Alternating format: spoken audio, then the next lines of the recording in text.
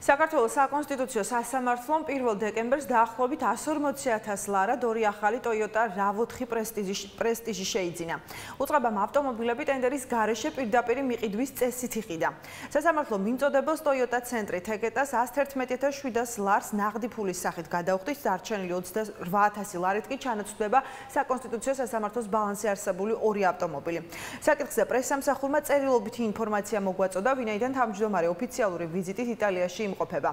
ოფიციალური ინფორმაციის თანახმად საკონსტიტუციო სასამართლოს თავმჯდომარე ზაზა თავაძემ მის სარგებლობაში არსებული ორი ავტომობილიდან უარი თქვა ერთ-ერთის გამოყენებაზე შესაბამისად მანქანა ჩააბარეს Toyota ცენტრი თეგეტას და სასამართლომ შეიძინა ავტომობილები იმ მოსამართლეებისთვის, რომელთა ავტომობილებიც ყველაზე მეტად იყო გამოსული მწყობრიდან. საკონსტიტუციო სასამართლოს პრესამსახურის განმარტებით შესყიდვაზე ტენდერი იმიტომ არ გამოაცხადეს, რომ მანქანების ჩანაცვლების შესახებ მოლაპარაკება ერთ კონკრეტულ კომპანიასთან მიმდინარეობდა.